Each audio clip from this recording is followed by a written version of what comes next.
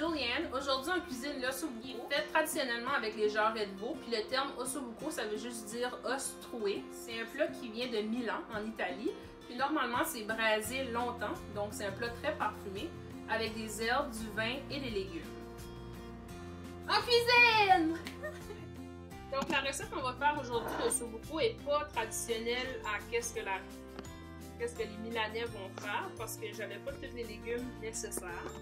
Euh, mais on va utiliser des champignons, le reste d'un chou, un oignon, deux gousses d'ail, une conserve de tomates en dés, des poivrons tranchés, jarret de veau. Ça, vous pouvez demander à votre boucher ou sinon vérifier dans la section euh, viande à l'épicerie. Euh, des fois, c'est des jarrets entiers qui peuvent vous trancher en, différents morceaux. Donc ça, c'est le de veau du Québec. Une feuille de laurier, puis un mélange d'assaisonnement italien. Puis on va avoir besoin d'un petit peu de farine pour enfariner nos morceaux de viande afin d'avoir une belle croûte colorée. Puis on va aussi déglacer notre cocotte avec un petit peu de vin blanc. On va commencer par couper nos légumes pour être prêt euh, une fois que la viande est colorée. Donc moi, je prends environ la moitié d'une barquette de champignons. Je vais juste les trancher.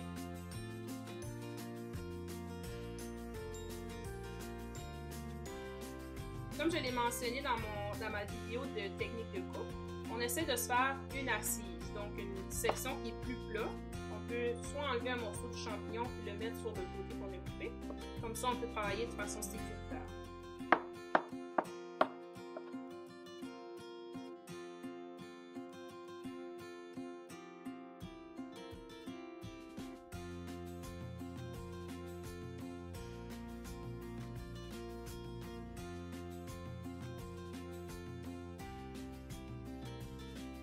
Pour les poivrons, on va juste faire une julienne.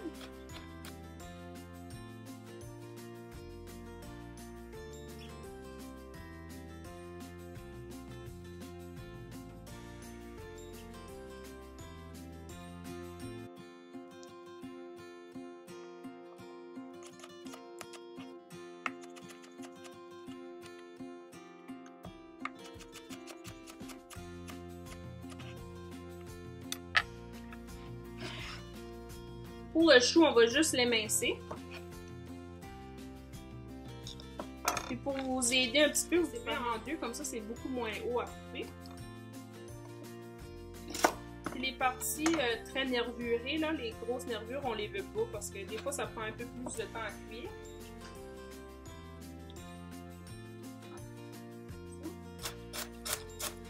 encore avec la main en pâte de chat, on émince assez finement, comme ça, ça cuit rapidement.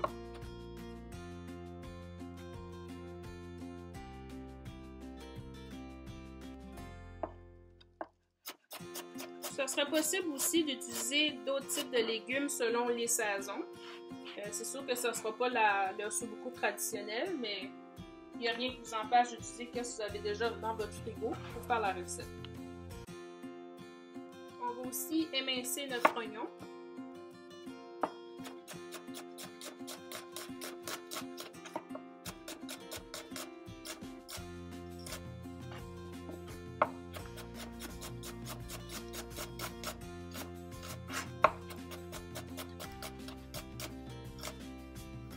Les gousses d'ail, on va juste les presser avec un presseur, mais on peut aussi les faire au couteau.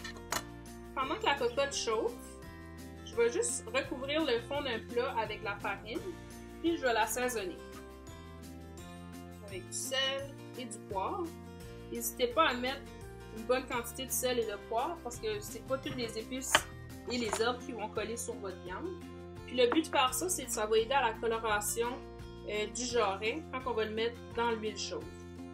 J'ajoute une bonne cuillère à table d'assaisonnement à l'italienne.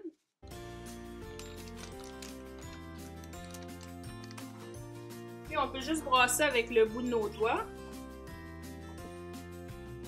pour s'assurer que toute, toute, la farine est bien assaisonnée avec les herbes, le sel et le poivre. Puis on va prendre nos morceaux de jarret, puis on va juste les enfariner. On en ferait de même les côtés. Parce qu'on va donner une petite coloration aux côtés aussi.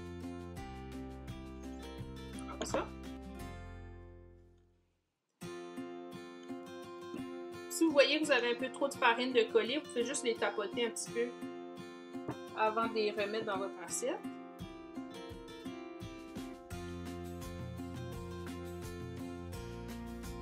J'ai mis environ un tiers de tasse de farine. C'est sûr que ça dépend de la grosseur de vos pièces de viande. Si on prépare ça avec n'importe quelle viande qu'on veut braiser, on donne une belle coloration. Comme ça, ça donne du goût à notre mélange. Même si on n'a pas de bouillon, euh, soit du bouillon du commerce ou du bouillon fait maison. ça peut être une belle base pour commencer une sauce. La coloration euh, qu'il va avoir dans la cocotte ou dans la casserole que vous utilisez.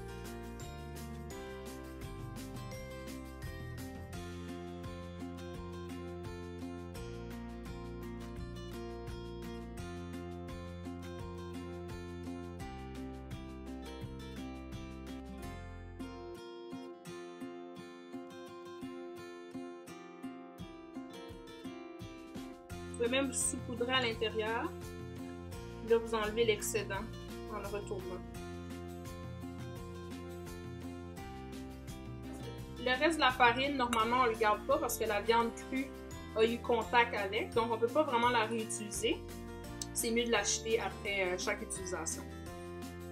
Moi, quand je fais des procédés où que je dois utiliser une main pour toucher l'aliment, il y a un de mes mentors en cuisine qui m'a toujours dit on garde une main euh, pour l'équipement ou pour l'ustensile qu'on va utiliser.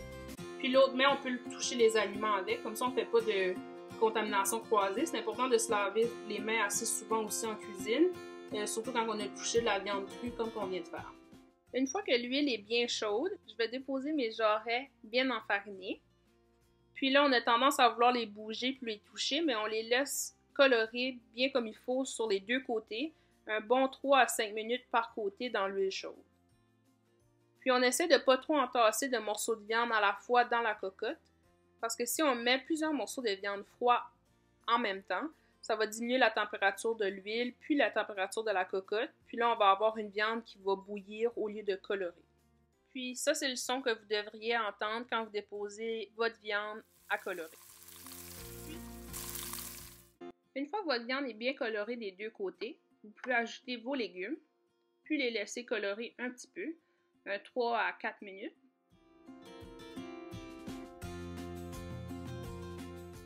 Une fois que les légumes ont tombé un petit peu, on va juste déglacer avec du vin blanc. Ça pourrait être aussi avec de l'eau.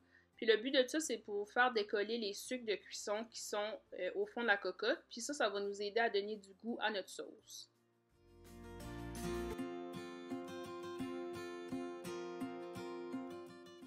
On peut voir, la texture a vraiment changé. On peut ajouter la conserve de tomates. Si vous n'aimez pas les tomates, vous pourriez acheter un petit peu de bouillon de poulet ou de bœuf, euh, soit du commerce ou maison. En plus de ça, on va ajouter deux feuilles de laurier.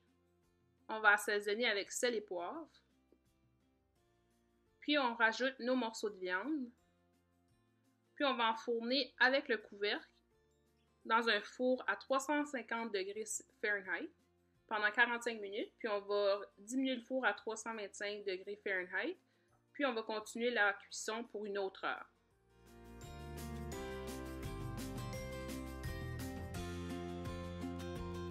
Donc, traditionnellement, l'ossobuco est servi avec une gremolata, qui est un mélange de zeste de citron, persil frais et d'ail. Ce soir, on a décidé de servir l'ossobuco sur des pâtes. C'est le fun avec des pâtes qui ont des formes, comme un macaroni ou des petites boucles. Comme ça, la sauce peut se retrouver dans les nids des pâtes. Ce serait possible aussi de servir ça avec euh, un autre féculent, comme de l'orzo, une purée de pommes de terre ou peu importe qu'est-ce que vous avez sous la main.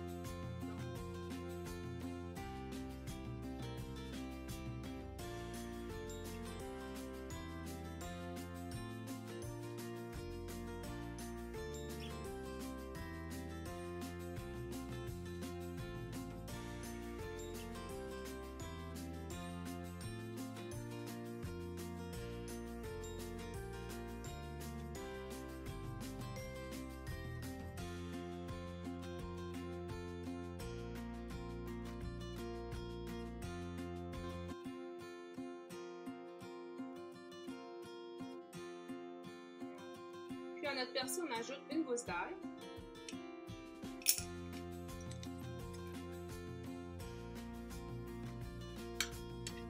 On peut prendre le dos du couteau pour râter le pressail.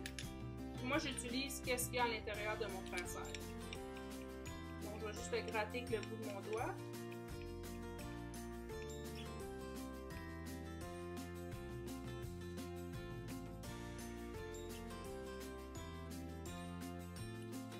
À ça, on ajoute du zeste de citron.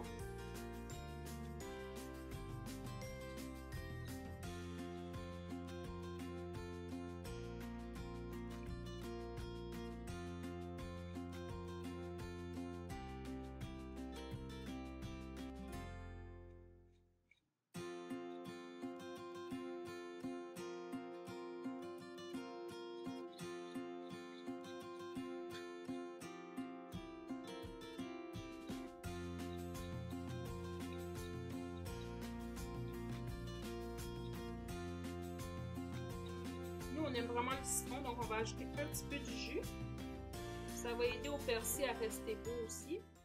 Puis la technique de cuisson qu'on a vue aujourd'hui, qui est brasée, euh, rend la viande vraiment tendre. Ça peut être n'importe quelle sorte de viande qui a des os et du gras, que vous pouvez utiliser la même technique. Puis vous allez voir, vous n'allez même pas avoir besoin de couteau pour euh, manger votre viande. Puis en plus, le bonus, c'est que vous pouvez manger la moelle euh, dans, de l'os. Moi, j'ai juste décidé de servir l'ossobuco sur des caves à tapis, qui sont juste des pas du commerce. Puis je termine avec la gremolata, puis un peu de pecorino.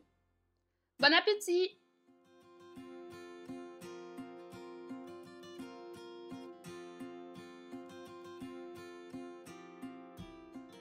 Pour notre prochain vlog, on cuisine la bavette de bœuf et un ragoût d'haricots blancs. Merci et à bientôt!